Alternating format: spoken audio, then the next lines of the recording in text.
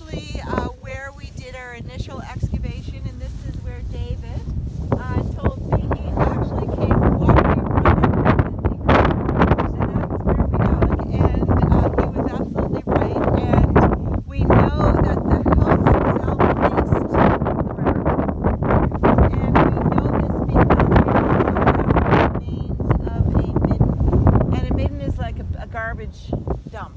So, and essentially they were coming out, the midden was on the left-hand side of the house, and they were coming out their front door and with their garbage and so on, um, basically just going this way. Okay. Uh, but this house, we know at least it was occupied at least until 1749. That's the last date that we have for the artifacts that we found.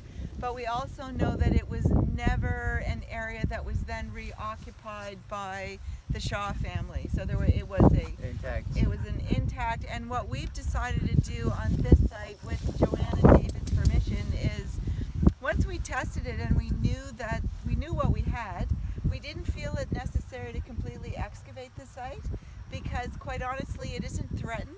David and Joanne do like just such a phenomenal job taking care of the sites and taking care of the land and so on Yeah. that it seemed much more appropriate to leave the, the archaeology in situ where it is. Uh, we know where we know the location. If it's ever necessary to go in and retrieve the Right.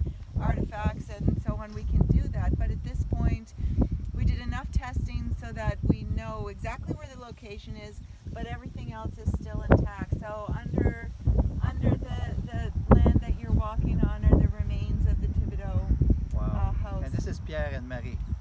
We don't know exactly which Okay. Uh, now we know they all the families lived. The villages were family oriented, right? So uh, we don't know which one of the buildings on the uh, early French map that Dick Thibodeau had that led him to this area. And Yeah. you see this corner there in the river. That's the bend in the river Yeah. that he he was Okay. able to identify.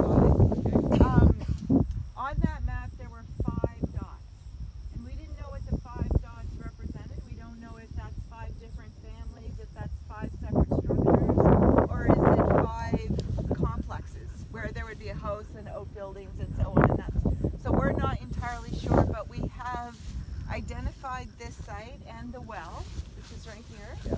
Uh, we've identified uh, another site on one of the fields over here, which was also uh, an Acadian Thibodeau homesite. We know that. Like within the forest or? No, it's over on the other. When we go the back down, I'll point it out to you. But Okay. there's also we know another one up at the top of the hill that we haven't excavated that uh, is, according to oral tradition, uh, an Acadian cellar. And I'm sure there are others, uh, but these are the ones that we've looked at. And we Okay. did some excavation of Village Leblanc Okay. and confirmed that. We haven't been over to Village Vincent, but I don't want to upset too many of the neighbors.